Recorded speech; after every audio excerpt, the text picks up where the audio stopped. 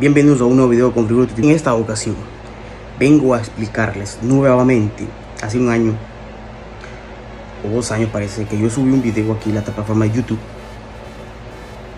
y he estado, me he tomado el tiempo de estar leyendo todos los comentarios que me han dejado en ese video y vengo a explicarles nuevamente, a refrescarles por qué un hondureño no puede adoptar o, o no debe adoptar o, aprender a hablar como hablan en otro país. Porque uno tiene que sentirse orgulloso de sus raíces, sentirse orgulloso de donde nació, sentirse orgulloso de donde sus padres son.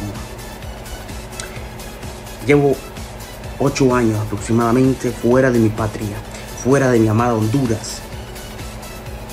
Y hasta el día de hoy vengo manteniendo siempre mi forma de hablar.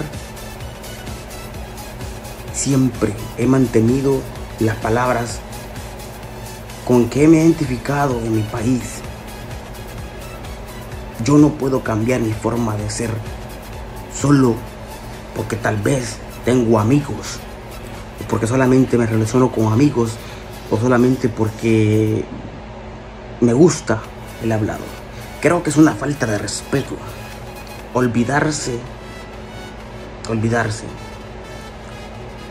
de nuestro hablado original. Porque cada persona de cada país tiene que amar a su patria. Porque nosotros no escogemos dónde nacer. Yo soy hondureño hasta el día que me, que me muera y así me siento orgulloso de haber nacido en una patria bella, hermosa, como mi amado Honduras. Y con eso no quiero decir de que yo no respeto a las nacionalidades de otro país.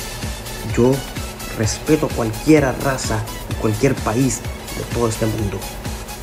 Pero para mí se me hace una falta de respeto, se me hace algo que es muy mal, antipatria, se puede decir, de aquellas todas personas que comienzan a hablar como mexicanos o como que aprenden a hablar como españoles o como que aprenden a hablar, agarren a las... No, está bien que aprendamos a hablar lenguas eh, o, idiomas de otro, de otro país, pero nunca olvidarse de su forma de hablar, nunca olvidarse de sus raíces.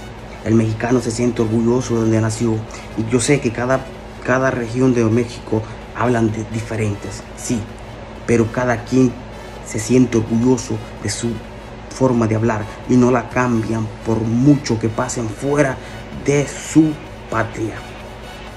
Hoy puedo decir que llevo ocho años largos fuera de mi patria y sigo diciendo y lo voy a sostener hasta el día que me muera que ningún, ninguno, nadie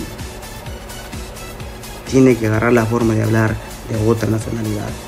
porque tiene que sentirse orgulloso de donde nació. Creo que cuando tú cambias tu forma de ser, estás diciéndole que no sos de ese país y que tus padres no deberían de ser tus padres.